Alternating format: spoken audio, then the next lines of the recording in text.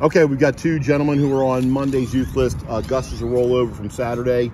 Aviator is a new one on Monday's euth list. Uh, Gus is a volunteer favorite, not going to lie. We are very, very um, uh, partial to this guy right here. We've all gotten to meet him. Uh, he's done very, very good boy. Who's that? You saying hi to him? Good boy. I mean, he just does, he's done fantastic with other dogs. We've thrown a lot of different dogs at him, and he hasn't shown any sort of issue with any type of dog we've thrown at him. He's just a chill guy.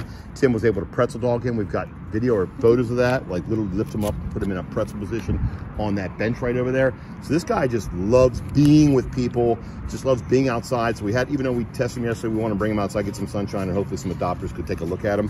Gus is 1855, uh, 6598. He's a seven-year-old that doesn't look it, doesn't act it, but he's seven years old, unneutered male. Like I said, chow. We, I definitely see some Shar in that face also. And he's been here about three weeks. He's 57 pounds. He is high heartworm positive, so we do have to get rid of those nasty, nasty um, heartworms. Aviator, little guy right here, has uh, kind of been a surprise for us. We really enjoyed this guy. He's a good-looking little fella. Um, calling him a lab mix, he's not. He's got like kind of that little, uh, what do you call him? Huh? Boxer, maybe a little black mouth cur. But I mean, yeah, I see a little like a mini boxer, uh, kind of that short snout. Good looking boy. I mean, the, the coat's in great shape. Maybe could use a couple pounds, but he's a little guy. He's 185-7642, owner surrender. We talked about this, brought in the day before Christmas so they can make room for the Christmas puppy. Hallelujah. But at least I will say this, he is heartworm negative, which is fantastic. I don't know if that was by luck or by actually giving him preventatives, but at least he is heartworm negative. And again, 43 pounds. Let's walk them down here together. Come on, Gustafer. It's our new nickname for Gus. Gustafer.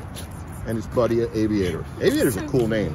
Gustafer and Aviator. That's a cool, cool pairing right here. Here they are.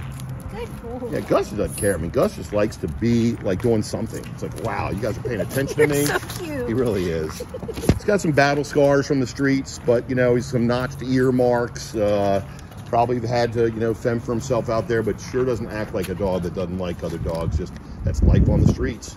Um, Aviator's a really good looking boy. Look at him. He sees something over there, maybe his own shadow. Maybe he sees himself in that mirror, give reflection.